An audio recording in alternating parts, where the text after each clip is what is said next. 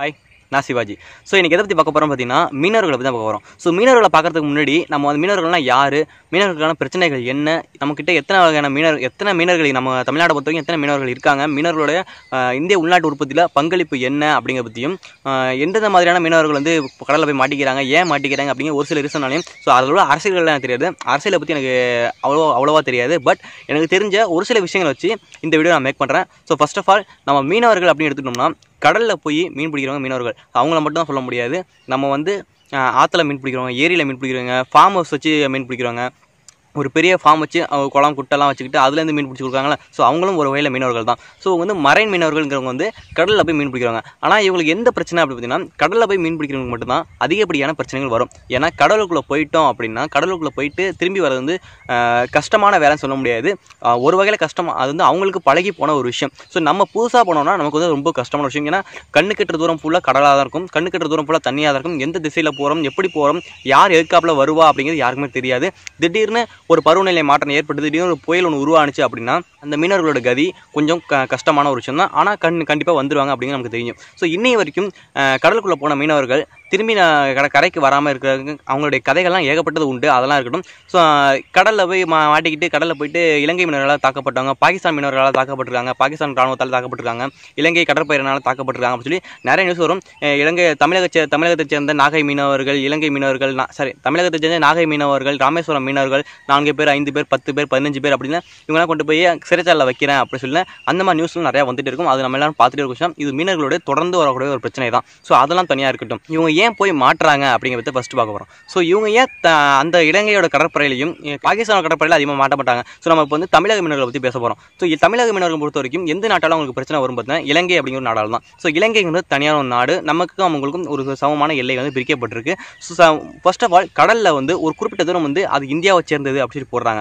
So இந்தியாவை சேர்ந்தது மட்டும் இல்லாமல் அந்த குறிப்பிட்ட தூரத்தை தாண்டினதுக்கப்புறம் கிட்ட உலகத்தில் வந்து இருபத்தி ஒரு சதவீதம் நிலம் பாக்கி எழுபத்தி ஒம்பது சதவீதம் நீர் தான் இருக்குது அப்படி இருக்கும்பொழுது அவ்வளோ பெரிய கடலில் வந்து ஒரு குறிப்பிட்ட தூரம் வந்து இந்தியா வச்சு ஒரு ஒரு நாட்டுக்கும் சொந்தமாக இருக்கும். அதுக்கு மேலே போகிறது தான் சர்வதேச கடல். அந்த அந்த கடல் வந்து யாருக்குமே சொந்தம் கிடையாது. அந்த கடல் வந்து உலகத்தில் இருக்கிற எல்லா மக்களுக்கும் சொந்தமானது. அந்த கடல்லேருந்து ஒரு நாட்டை நோக்கி வந்துகிட்டே இருக்கும். ஒரு குறிப்பிட்ட தூரத்தில் வந்துட்டோம். நாட்டோட பார்டருக்குள்ள வந்துட்டோம்னா அந்த கடல் வந்து அந்த நாட்டுக்கு சொந்தமானது. அதுக்கப்புறமா தான் அவங்க பாஸ்போர்ட் என்கொயரிஸ் இதெல்லாம் பண்ணுவாங்க. அத்துமீது உள்ள நாளே தான் பண்ணிட்டு ஸோ இதுதான் பேசிக்கான ஒரு கடலை பற்றின ஒரு தகவல். ஸோ கடலில் வந்து ஒரு அது வந்து இன்டர்நேஷனல் ஒரு இது. அங்கே யார் வேணால் போகலாம் என்ன வேணால் பண்ணிக்கலாம். ஸோ அதெல்லாம் ஒரு விஷயம். அது தனியாக இருக்கட்டும். அங்கே யார் கொண்டு வந்து மீன் பிடிக்கலாம் ஆனால் இந்த உள்நாட்டு கடலில் வந்து நம்ம நாட்டு மீனவர்கள் மட்டும் தான் மீன் பிடிக்கணும் அப்படின்னு சொல்லி ஒரு ரூல்ஸ் ஒன்று இருக்குது ஸோ அந்த கடலை பற்றி ரூல்ஸ்லாம் இன்னொரு வீடியோவில் சொல்கிறேன் கடல் வந்து எப்படி பிரிக்கிறாங்க கடலில் வந்து எவ்வளோ விஷயங்கள் இருக்குது அப்படின்னு சொல்லி நான் இன்னொரு வீடியோவில் மேக் பண்ணுறேன் ஸோ இப்போ வந்து தமிழக மீனவர்கள் பற்றி பார்க்கும்பொழுது தமிழக மீனவர்கள் வந்து ஒரு குறிப்பிட்ட தூரம் தாண்டி போனதுக்கப்புறம் அது சர்வதேச கடலாகிடும் அங்கே போயிட்டோம்னா நீங்கள் நீங்களாக இருந்தாலும் சரி நானாக இருந்தாலும் சரி நம்மள்ட்ட பாஸ்போர்ட் இல்லை அப்படிங்கும் பொழுது அது வந்து ஒரு அகதிகள் தான். ஸோ அந்த இடத்துல யாருமே நம்மளை பிடிக்க மாட்டாங்க. பட் அதை தாண்டி நம்ம இன்னொரு நாட்டினுடைய அந்த கடலோர எல்லைக்கு போயிட்டோம். அந்த எல்லையில் கடலில் வந்து தண்ணியில் வந்து பேர் எழுத முடியாது. தண்ணியில் வந்து போட்டு எல்லையெல்லாம் பிரிக்க முடியாது. காரணம் பார்த்தீங்கன்னா தண்ணியில் எதை எல்லை போட்டோம்னா அது காற்றுல அங்கே இங்கேயும் ஆடி அலைஞ்சிட்டு போயிட்டு போயிட்டே தான் இருக்கும். ஸோ திடீர்னு பார்த்தீங்கன்னா ஒரு அடி இந்த பக்கம் நிற்கும் திடீர்னு பார்த்தீங்கன்னா ஒரு அடி அந்த பக்கம் நிற்கும் அது எல்லாருக்குமே தெரிஞ்ச ஒரு விஷயம் தான் ஸோ ஒரு நிலையான எல்லை அப்படிங்கிற விஷயம் கடலில் கிடையாது. ஸோ அதனால தான் இவங்க வந்து எந்த பக்கம் போகிறாங்க அப்படிங்கிறது தெரியாது. ஸோ கடலை எல்லையை தாண்டி அந்த பக்கம் போயிட்டோம்னா நம்ம இந்த பக்கம் வந்தால் பிரச்சனை கிடையாது. நம்மளோட நாட்டு பக்கம் வந்தால் பிரச்சனை கிடையாது. ஆனால் நம்மளோட நாட்டுக்கும் ஆப்போசிட் நாட்டுக்கும் அந்தவங்க அந்த பக்கம் போயிட்டோம்னா அவங்க வந்து கடற்படையினால தாக்கப்படுறாங்க. ஸோ இதுதான் பேசிக்கான ஒரு காரணம் சொல்லலாம்.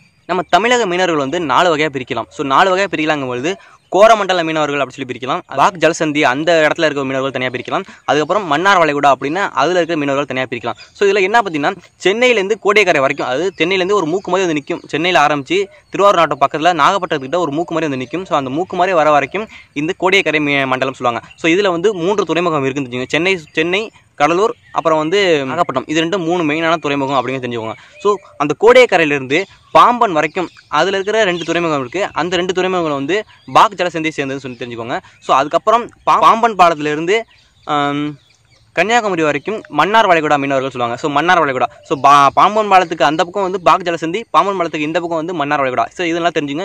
நம்ம இந்தியா நம்ம தமிழ்நாட்டை பொறுத்த வரைக்கும் மூன்று வகையான மீனவர்கள் இருக்காங்க. நம்ம தமிழ்நாட்டில் மட்டுமே கிட்டத்தட்ட பத்து லட்சம் மீனவர்கள் என்னமோ இருக்காங்க அப்படின்னு தெரிஞ்சுக்கோங்க. ஸோ பத்து லட்சம் மீனவர்களும் மீன்பிடி தொழில் தான் நம்பி இருக்காங்க அப்படின்னு தெரிஞ்சுக்கோங்க. நம்ம தமிழ்நாட்டில் பத்து லட்சம் மீனவர்கள் மீன்பிடி தொழில் நம்பி மட்டுமே இருக்காங்க. அவங்க வந்து வேறு எந்த தொழிலுமே தெரியாது அப்படின்னு தெரிஞ்சுக்கோங்க. ஸோ இவங்க வந்து கடல் தாண்டி போய் மீன் பிடிக்கணும் அப்படிங்கும்பொழுது க அடுத்து இலங்கை கடற்படையினால தாக்கப்படுறாங்க அப்படிங்கிறதான் ஒரு யதார்த்தமான ஒரு உண்மை. ஸோ இதுக்கு காரணம் என்னென்னா அவங்க வந்து யதார்த்தமாக அவங்களுக்கு வழி தெரியாமல் வேற ஒரு கடலோட க வேற ஒரு நாட்டுடைய கடல் எல்லையை கடந்து போகிறதுனால அங்கே இருக்க கடற்படையால் தாக்கப்படுறாங்க. ஸோ இதுதான் உண்மை. ஸோ இவங்க வந்து கடற்படையில் தாக்கப்பட்டதுக்கப்புறம் அவங்கள விசாரணை பண்ணிட்டு அவங்கள வந்து அந்த நாட்டோட கடற்க அந்த நாட்டுடைய க போலீஸ்கிட்ட ஒப்படைப்பாங்க. ஒப்படைச்சு அவங்க வந்து நல்லா விசாரிச்சதுக்கப்புறம் நீங்கள் வந்து இந்த நாட்டை சேர்ந்தவங்களா அந்த நாட்டை சேர்ந்தவங்களான்னு சொல்லிட்டு அவங்கள்ட்ட ஐடி ப்ரூஃப்லாம் இருக்கும். அந்த ஐடி ப்ரூஃப்லாம் கலெக்ட் பண்ணி நம்ம இந்திய அரசாங்கத்துக்கு அனுப்புவாங்க. இந்திய அரசாங்கத்துக்கு அவங்க வெரிஃபை பண்ணி இவங்க வந்து எங்கள் நாட்டை சேர்ந்தவங்க தான் அப்படின்னு ஒரு ப்ரூஃப் கொடுத்ததுக்கப்புறமா தான் அவங்க வந்து ரிலீஸ் பண்ணுவாங்க. இதுக்கு காரணம் பார்த்தீங்கன்னா அகதியாக வந்தவங்க வந்து நம்ம சர்வதேச கடலுக்கு போயிட்டோம். தெரியாமல் வந்துட்டோம் அப்படிங்கும்போது நம்ம வந்து ஒரு ஐடென்டிஃபை இல்லாத ஒரு அகதி தான். நம்ம வந்து ஒரு மனுஷன் அவ்வளோதான் அவனுக்கு தேவை நீ இந்த நாட்டை சேர்ந்தவன் இந்த நாட்டை சேராதவன் அப்படிங்கிற உனக்கு எதுவுமே தெரியாது. நீ இலங்கைக்காரனாகவே இருந்தாலும் அது வந்து இலங்கை மீனவர்கள் பிடிக்கிறாங்க. அது வந்து இலங்கை மீனவர்களாகவே இருந்தாலும் அந்த நாட்டுடைய ஐடி ப்ரூஃப் அவங்கள்ட்ட வேணும். ஸோ அப்படி இருந்தால் மட்டுமே தான் அவங்க ரிலீஸ் பண்ணுவாங்க. இதுதான் ஒரு உண்மை. உங்களுக்கு இன்னொரு கேள்வி வரலாம். ஸோ இந்த மீனவர்கள் எதுக்கு எல்லை தாண்டி அவ்வளோதான் தாண்டி போகணும்? நம்ம உள்நாட்டு கடல்லே வந்து மீன் பிடிக்கலாமே அப்படிங்கிற ஒரு கேள்வி எல்லாருக்குமே வந்திருக்கும். ஸோ இதுக்கு காரணம் என்ன பார்த்தீங்கன்னா கடலுங்கிறது ரொம்பவே பெருசு. கடலில் கிடைக்கிறது இது வரைக்கும் மனிதர்களை ஆராய்ச்சி பண்ணதில் வந்து வெறும் ஐந்து சதவீதம் மட்டும் தான் வெறும் ஐந்து சதவீதம் மட்டுமே தான் கடல் வந்து ஆராய்ச்சி பண்ணியிருக்காங்க. அதுக்கு மேலே இன்னும் ஏகப்பட்டது இருக்குது கடல்வாழ் உயிரினங்கள் நமக்கு தெரியாமல் இன்னும் நிறையாவே இருக்குது அப்படின்னு தெரிஞ்சுக்கோங்க. ஸோ இந்த கடல்வாழ் உயிரினங்கள் எல்லாமே ஆழ்கடலில் தான் அதிகமாக இருக்கும். ஸோ நம்ம வந்து ஒரு இன்னைக்கு ஒரு சுறாமீன் பிடிக்கணும் சுறாமீன் வேணும் நம்ம சுறாமீன் சாப்பிட்றப்ப தெரியாது. பட் சுறாமீன் எங்கே இருக்கும் பார்த்தீங்கன்னா ஆழ்கடலில் தான் இருக்கும். ஸோ ஆழ்கடலில் போனால் தான் அதிகப்படியான மீன்கள் பிடிக்க முடியும். வித்தியாசமான மீன்கள்லாம் இருக்கும். ஸோ அதிக விலை போகக்கூடிய மீன்கள் எல்லாமே ஆழ்கடலில் தான் இருக்கும் அப்படின்னு தெரிஞ்சுக்கோங்க. ஸோ இவங்க வந்து கடலோரத்தில் கரையோரத்தில் பிடிக்கிற மீன்கள் எதுவுமே சின்ன சின்ன மீன்களாக இருக்கும். அது வந்து அதிகப்படியான மீன்கள் இருக்காது. ஸோ ஆழ்கடலுக்கு போகும்போது தான் அதிகப்படியான மீன்கள் கிடைக்கும். அதிகப்படியான மீன்கள் கொண்டு வந்து இவங்க கரைக்கு சேர்க்க முடியும். கரையிலேருந்து அதிகப்படியான வருமானம் ஈட்ட முடியும் அப்படிங்கிற ஒரு உண்மை. ஸோ இதனால தான் இவங்க வந்து ஆழ்கடலுக்கு போகிறாங்க அப்படின்னு சொல்லுவாங்க ஆழ்கடல் படகு எடுத்துட்டு ஒரு குறிப்பிட்ட மீனவர்கள் வந்து கரை கடலுக்குள்ளே போனாங்க அப்படின்னா அவங்க திரும்பி வரதுக்கு வந்து குறைந்தபட்சம் பத்து நாட்கள்லேருந்து ரெண்டுலேருந்து மூன்று வாரங்கள் வரைக்கும் ஆகும் அப்படின்னு வச்சுக்கோங்க இந்த மூணு வாரமும் அவங்க வந்து அவங்க அந்த போட்லேயே சமைச்சு சாப்பிட்டுக்கணும் அந்த போட்லேயே சிக்னல்ஸ் எதுவுமே இருக்காது. சிக்னல்ஸ் கிடைக்கிறது வந்து ரேடார் சிக்னல்ஸ் மட்டுமே இருக்கும். மொபைல் சிக்னல்ஸ் கிடைக்கிறது கொஞ்சம் கஷ்டம் தான் ஸோ அது இப்படி அதை பற்றி எனக்கு தெரியல. பட் நடுக்கடலில் சிக்னல் கிடைக்காது அப்படிங்கிற விஷயம் மட்டும் எனக்கு தெரியும். அந்த ஒரு விஷயம் அந்த ஒரு விஷயம் தான் சொல்லிக்கிறேன். ஸோ ரேடார் சிக்னல் வச்சு தான் அவங்க வந்து கம்யூனிகேட் பண்ணிக்கணும். ஸோ இந்த மாதிரி ஒரு க ஒரு மீனவர்கள் வந்து கடை கடலுக்குள்ளே போயிட்டாங்கன்னா அவங்க திரும்பி வர வரைக்கும் அவங்களுடைய வாழ்க்கை வந்து ஒரு போராட்டமாக தான் அவங்களோட குடும்பங்கள் எல்லாமே போராட்டமாக தான் இருக்கும். இவங்க போயிட்டு திரும்பி வந்து மீன்கள் உணவு கொடுத்தாதான் அவங்களுக்கு வந்து தரம் இவங்களுக்கு வந்து ஒரு வருமானம் அப்படிங்கிறது கிடைக்கும். ஸோ இந்த வருமானம் வச்சு அவங்க என்ன பண்ண போகிறாங்க அவங்களோட வாழ்வாதாரம் அப்படிங்கிற விஷயம் இருக்குது ஸோ அதுக்காக தான் அந்த வருமானம் அப்படிங்கிற விஷயம். ஸோ இந்த வருமானம் எவ்வளோ இருக்குன்னு நினைக்கிறீங்கன்னா ஒரு மீனவர்கள் கடை எடுத்துகிட்டு போகிறாங்கன்னா கண்டிப்பாக அது முழுக்க முழுக்க அவங்க கிடைக்க போகிறது கிடையாது. இதுக்கு காரணம் என்னன்னு பார்த்தீங்கன்னா டீசல் விலைகள் டீசல் விலை இருக்குது இது ஒரு ஒரு க- படகு எடுத்துட்டோம்னா அந்த படகுல ரெண்டு பேர் மூணு பேர்லாம் போக மாட்டாங்க குறைஞ்சபட்சம் நான்கு பேர்லேருந்து குறைஞ்சபட்சம் அஞ்சு பேர்லேருந்து பத்து பேர் வரைக்கும் போவாங்கன்னு தெரிஞ்சுக்கோங்க. ஸோ இந்த பத்து பேரும் போய் மீன் பிடிச்சிட்டு வரும்போது தான் அவங்களுக்கு வந்து கிடைக்கும். ஸோ அது வரைக்கும் அவங்க அங்கேயே தான் சமைச்சு சாப்பிடணும். அவங்க ஒரு கையில் ஒரு சிலிண்டர் எடுத்து போவாங்க இல்லை அடுப்பு எடுத்துகிட்டு போவாங்க அந்த அடுப்பில் வந்து அவங்க தான் சமைச்சு சாப்பிடணும். அவங்க சாம்பாரோ இல்லை என்ன சமைக்கிறாங்களோ ஸோ அவங்க வந்து அந்த க போட்டில் கடலில் இருக்கிற வரைக்கும் அவங்க சாப்பாடு வந்து அவங்க அவங்க தான் சமைச்சு சாப்பிட்டுக்கணுங்கிறது தான் ஒரு உண்மை. ஸோ இது ஒரு விஷயம். அடுத்த விஷயம் என்ன பார்த்தீங்கன்னா இவங்களுக்கு வந்து அதிகப்படியான வருமானம் அப்படிங்கிற விஷயம் கிடையாது. ஏன்னா ஒரு போட்டு வந்து நான் வந்து ஒரு நாலு போட் வச்சுருக்கேன்னா நான் அந்த நாலு போட்டுக்கும் ஒரு கடை போட்டு ஓட்ட தெரிஞ்சவங்களுக்கும் மீன் பிடிக்கிறது ஒரு கூலி வேலைக்கு வருவாங்கல்ல ஸோ அவங்களையும் தான் கொடுத்து அனுப்புவோம். போட் வந்து என்னோட சொந்தம் தான். ஸோ அந்த போட்டு உள்ள எடுத்துகிட்டு போயிட்டு நீ எவ்வளோ மீன் பிடிச்சி வரியோ அவ்வளோ மீன் வந்து எனக்கு தான் சொந்தம். நான் கொடுக்குறதா உனக்கு சம்பளம் அப்படிங்கிற விஷயம் தான் உண்மையான உண்மை நிதர்சனமான ஒரு உண்மை. நான் கொடுக்குற சம்பளம் தான் உனக்கு. பட் நீ கடலுக்கு போயிட்டு இருந்தால் எனக்கு வந்து ஒரு ரெண்டு லட்ச ரூபா கிடைக்கிது அப்படின்னா நான் உனக்கு ஐயாயிரம் தான் தருவோம் அப்படின்னா அந்த ஐயாயிரம் தான் உங்களுக்கு. ஸோ பத்து பேருக்கு ஐயாயிரம்னா பதித்தஞ்சு ஐம்பது ஐம்பதாயிரம் தான் உங்களுக்கு. பாக்கி இருக்கிற ஒன்றரை லட்சம் அந்த போட்டுக்கு அந்த போட்டுடைய சொந்தக்காரங்களுக்கு தான் போய் சேரும். ஸோ இவங்களுக்கு வந்து க ஐயாயிரம் கொடுக்குறாங்களா அப்படிங்கிறது நான் ஒரு ஒரு எஸ்டிமேட்டான தான் போட்டிருக்கேன். அதுக்கு கீழேயும் கொடுக்கலாம் அதுக்கு மேலேயும் கொடுக்கலாம் அப்படிங்கிறத எனக்கு அது அந்த இது எனக்கு தெரியாதில்ல. அது கீழேயும் கொடுக்கலாம் அதுக்கு மேலேயும் கொடுக்கலாம் அப்படிங்கிறது ஒரு உண்மை. ஸோ இந்த ஒரு விஷயம் தெரிஞ்சுக்கோங்க. ஸோ அடுத்தபடியான விஷயம் என்ன பார்த்தீங்கன்னா சென்னை மீனவர்கள்லாம் அதிகமாக மாட்ட மாட்டாங்க. இதுக்கு காரணம் பார்த்தீங்கன்னா வங்காள வீடா வங்காள வீடாங்கிறது பெரிய ஒரு கடல். ஸோ பெரிய கடலுங்கும் அந்த பக்கம் வந்து மலை மலேசியா சிங்கப்பூர் தான். சில மலேசியா சிங்கப்பூர் பர்மா இந்த மாதிரி- இந்த மாதிரியாக தான் இருக்கும். ஸோ அவ்வளோ தூரம் நம்ம போக போகிறது கிடையாது. நமக்கு வந்து நடுக்கடல் மட்டும் தான் போக போகிறாங்க அதுக்கு அந்தாண்டா அவங்க போக போகிறது கிடையாது. ஆனால் இந்த நாகை நாகை பாம்பன் கன்னியாகுமரி இந்த மீனவர்கள் மட்டும்தான் மாட்டுவாங்க. இதுக்கு காரணம் என்ன அப்படின்னா இலங்கை வந்து ரொம்பவே கிட்டக்க. நம்ம கடல் நம்மளோட கடல் பரப்பை வந்து சரிப்பாதையாக ஷேர் பண்ணிகிட்டு இருக்கோம். இப்போ வந்து இலங்கையிலேருந்து சாரி ராமேஸ்வரத்துலேருந்து இலங்கை வந்து ஒரு இருபது கிலோமீட்டர் அப்படின்னு சொல்லி வச்சுக்கோங்களேன். ஸோ ராமேஸ்வரத்துலேருந்து பத்து கிலோமீட்டர் வந்து க பத்து கிலோமீட்டர் கடற்பரப்பு வந்து தமிழ்நாட்டுக்கும் அடுத்த பத்து கிலோமீட்டருக்கு அடுத்த பத்து கிலோமீட்டர் கடற்பரப்பு வந்து இலங்கைக்கு சொந்தமாயிடும். நம்ம அந்த பத்து கிலோமீட்டருக்குள்ளே மீன் பிடிக்கணும் அப்படின்னு பார்த்தீங்கன்னா அது கண்டிப்பாக முடியாது.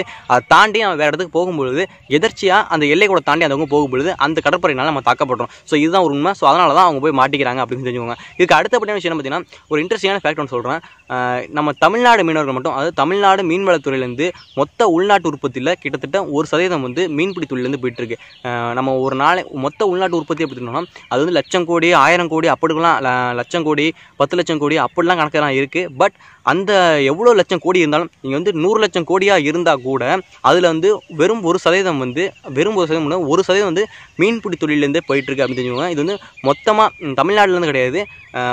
குஜராத் மீனவர்கள் மகாராஷ்டிரா மீனவர்கள் கர்நாடகா மீனவர்கள் கோவா மீனவர்கள் கேரளா மீனவர்கள் தமிழ்நாடு மீனவர்கள் ஆந்திர பிரதேச மீனவர்கள் ஒரிசா மீனவர்கள் மேற்குவங்க மீனவர்கள் இந்த மாதிரி கட க கடலோர மாநிலங்கள்லாம் இருக்குல்ல அந்த கடலோர மாநிலங்கள்லேருந்து மட்டுமே கிட்டத்தட்ட ஒரு பர்சன்ட் ஜிடிபி உள்நாட்டு உற்பத்தி போய்கிட்டு இருக்கு அப்படின்னு தெரிஞ்சுக்கோங்க. இது வந்து தமிழ்நாடை பொறுத்த வரைக்கும் ரெண்டாயிரத்தி பதினெட்டு பத்தொம்போது கணக்கெடுக்க முடியும் இப்போ ரெண்டாயிரத்தி பதினெட்டு பத்தொம்போதுலேருந்து ஐயாயிரத்தி ஐநூற்றி தொண்ணூற்றி ஒன்று புள்ளி நாற்பத்தி ஒம்பது கோடி ஐயாயிரத்தி ஐநூற்றி தொண்ணூற்றி ஒன்று புள்ளி நாற்பத்தி ஒம்பது கோடி வந்து ரெண்டாயிரத்தி பதினெட்டு பத்தொம்போது மாநில வருஷத்தில் தமிழ்நாட்டிலேருந்து பங்கு போயிருக்கு அப்படின்னு தெரிஞ்சுக்கோங்க. ஸோ கோடி இப்போ லட்சம் கிடையாது கோடி. ஸோ அப்போனா அதிகப்படியான வருமானம் ஈட்டுற மாநிலம் எது அப்படின்னு சொல்லி பார்த்தீங்கன்னா கேரளா. கேரளாவில் வந்து ஒரு கொள்ளத்துக்கிட்ட ஒரு ஒரு கடை இருக்குது அது கொள்ளத்துக்கிட்ட ஒரு மீன்பிடி துறைமுகம் இருக்குது அது ஆசியாவிலேயே அதுதான் மிகப்பெரிய மீன்பிடி துறைமுகம் அப்படின்னு தெரிஞ்சுக்கோங்க. ஸோ அந்த மீன்பிடி துறைகள் இருந்தால் அதிகப்படியான ஒரு வருமானம் ச- மத்திய அரசாங்கத்துக்கு போயிட்டுருக்கு. இந்த மத்திய அரசாங்கமும் இந்த ஒரு வருமானத்தை வச்சு வச்சுக்கோங்க, மொத்த உள்நாட்டு உற்பத்தியில் ஒரு சதவீதம் வந்து மீன்பிடி தொழிலேருந்து போயிட்டு இருக்குன்னு பார்த்துங்க ஸோ இந்த ஒரு விஷயம் ஒரு விதமான உண்மை தான் ஸோ இப்படிப்பட்ட மீனவர்கள் வந்து அதிக அவங்களோட வாழ்வாதாரம் அப்படிங்கிற விஷயம் வந்து இந்த கடல் நம்பி தான் இருக்குது இதனால தான் மீனவர்கள் வந்து அவங்களோட வாழ்வாதாரங்கிறது ரொம்பவே கஷ்டமான வாழ்வாதாரம். அவங்களுடைய உயிருக்கு உத்தரவாதம் கிடையாது அப்படின்னு சொல்கிறதெல்லாம் இதனால தான் திடீர்னு தமிழக மீனவர்கள் மீது இலங்கை கடற்படை துப்பாக்கி ஷூட் நடத்தினாங்கன்னா ஒரு சில பேர் இறந்து போகிறதுக்கு காரணமும் இதனால தான் அவங்களோட எல்லையை தாண்டி போகிறதுனால தான் இறந்து போகிறோம் ஸோ இந்த ஒரு விஷயத்தினால தான் மீனவர்களுடைய வாழ்க்கை வந்து கவலைக்கிடமாக தெரிஞ்சுக்கோங்க ஸோ இந்த மாதிரி மீனவர்கள் வந்து கைது பண்ணி கொண்டு போயிட்டாங்க அப்படிங்கும்போது அவங்கள திருப்பி கொண்டு வரதுக்கு நடவடிக்கை எடுக்கலையான்னு பார்த்தீங்கன்னா கண்டிப்பாக இந்திய அரசாங்கம் நடவடிக்கை எடுத்து தான் இருக்குது ஸோ அதை எடுக்க மாட்டாங்கன்னு நம்ம நியூஸை சொல்லுவாங்க. இந்த நியூஸ் முதலமைச்சர் கையில் கடிதம் எழுதியிருக்காரு. அந்த முதலமைச்சர் கடிதம் எழுதியிருக்காரு இந்த முதலமைச்சர் கடிதம் எழுதியிருக்காரு சொல்லி நிறைய நியூஸ்கள் வரும். ஸோ அதெல்லாம் இருந்தாலும் இந்திய அரசாங்கம் அப்படிங்கிற விஷயம் வந்து அதுக்கான முயற்சிகள் எடுத்து தான் இருக்கும். ஏன்னா இந்திய மீனவர்கள் நம்ம சொல்லுவோம் தமிழக மீனவர்கள் தமிழக மீனவர்கள் நம்ம தமிழ இது கிரிக்கெட் விளாண்டா மட்டும் இந்தியன் கிரிக்கெட் வீரர் சொல்கிறோம் ஸோ த மீனவர்கள் மாட்டினா மட்டும் தமிழக மீனவர்கள் அப்படி சொல்கிறாங்களே அப்படி சொல்கிறோமே அப்படின்னு படத்தில் வர டேரக்டாக நம்ம சொல்லலாம். பட் எல்லாத்துக்குமே இந்தியன் மீன இந்திய மீனவர்கள் அப்படி சொல்லிட்டு எல்லாத்தையுமே ஒரு கணக்கு லிஸ்ட் வச்சிருக்காங்க. இந்தியா முழுக்க கிட்டத்தட்ட பத்து லட்சம் மீனவர்கள் பத்துலேருந்து பதினோரு லட்சம் மீனவர்கள் வந்து இந்த மீன்பிடி தொழில் மட்டுமே நம்பி இருக்காங்க அப்படின்னு தெரிஞ்சுக்கோங்க. இது எல்லாமே ரெக்கார்டு அவங்க இது இந்தியன் அரசாங்கத்தில் இருக்குது ஸோ அவங்கள்ட்ட தெரிஞ்சு போனதுக்கப்புறமா தான் அவங்க வந்து போகிற அவங்க வந்து அதுக்கான முயற்சிகள் எடுத்துகிட்டு இருப்பாங்க இலங்கையில் போய் மாட்டிக்கிட்டாங்க ஒருத்தவங்க போய் மாட்டிக்கிட்டாங்க வந்து அது இந்திய அரசாங்கத்துக்கு தகவல் வந்து இந்திய அரசாங்கம் அதை வெரிஃபை பண்ணி அனுப்பினதுக்கப்புறமா தான் அவங்க ரிலீஸ் பண்ணுவாங்க. ஸோ அதுக்கு கொஞ்சம் காலம் எடுக்க தான் செய்யும். அது வந்து உடனே உடனே நடக்கிற மாதிரி உடனே உடனே நடக்காது அப்படின்னு கேட்டிங்கன்னா அதெல்லாம் எனக்கு தெரியாது. பட் எனக்கு தெரிஞ்ச விஷயம் நான் ஒரு இதில் படித்த விஷயம் ஸோ கண்டிப்பாக நான் சொல்லிட்டேன். இந்த மாதிரி நான் வேறு ஏதாச்சும் டாபிக் பேசணும் அப்படின்னு நினச்சாலும் ஸோ வேற ஏதாச்சும் நான் இஷ்யூஸ் பற்றி பேசணும் வேறு ஏதாச்சும் பற்றி பேசணும் அப்படின்னு நினச்சாலும் கமெண்ட்ஸ் சொல்லுங்கள் கீழே ஒரு மெயில் ஐடி கொடுக்குறேன். அந்த மெயில் ஐடியில் உங்களோட ரிசர்ச் அண்ட் டாபிக் இது மாதிரி ஆர்டிகல்ஸ் ஏதாச்சும் இருந்தால் ஷேர் பண்ணி விடுங்க. அதை நான் படித்து தெரிஞ்சுப்பேன். ஸ்டே ஹோம் ஸ்டே சேஃப் மீனவர்களை பற்றி தெரிஞ்சுப்பீங்க நினைக்கிறேன். மீனவர்கள் ஏன் மாட்டுறாங்க அப்படிங்கிற விஷயம் தெரிஞ்சுப்பீங்கன்னு நினைக்கிறேன். ஸோ நான் சொன்னதில் ஏதாச்சும் தப்பு இருக்குது அப்படின்னு சொன்னால் அது கமெண்ட்ஸ் சொல்லுங்கள் so stay home stay safe thank you